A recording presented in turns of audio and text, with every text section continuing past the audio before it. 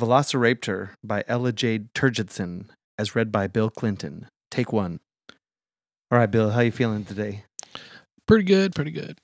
You want to give this a ch- you want to give this a shot? Okay, let's roll because I have to be on a plane in like 90 minutes. This is a this is a short story, right? Uh, yes. Okay. I was uh, I, I thought you guys were joking with this dinosaur erotica stuff, but then I went online. I found out it was real. Mm-hmm. I mean, I haven't had sex with a dinosaur in a long time. 'cause Hillary and I don't even live in the same house anymore. so, taken by a T Rex. That, that's my favorite one. Taken by the T Rex, but this is a different one. Um, you know, you know that's what we call t- uh, Democrats who uh, never donate to the party is uh, T Rexes because their little arms can't reach their wallets.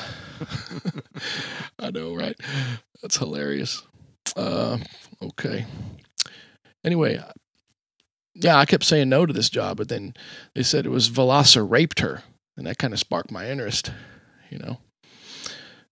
Okay, you ready to roll? Uh, So- yes, sir. I- I'm ready. Okay, should I just? Uh, Go ahead. okay. Veloci-raped her by Ella Jade Turgidson, read by Bill Clinton. Ella Jade Turgidson. She sounds like she'd be a fat chick. Do you see a fat chick? She Um, that's kind of correct, she kind of has a fat chick name. You can you can edit that out, right? I'll take that out. Yeah, okay, okay. Very good. Uh, let's see. Sorry. Veloci-Raped Her by Ella Jade Turgidson. Blurg stepped lightly on the dry twigs, trying to stay as silent as she could. The trap had been set hours ago, and she had seen many rabbits foraging in the area. The trap must have caught one, but it wouldn't do to come crashing through the brush just the same. As she neared the place where the rabbit lay impaled on the wooden spikes, she knelt to say a short prayer to the rabbit god. Before she could finish, she felt a tantalizing rush of warm, moist air on the back of her neck. She turned her head to see a sleek male velociraptor standing over her. Between his muscular legs hung his throbbing and ready instrument. Blurg did not move.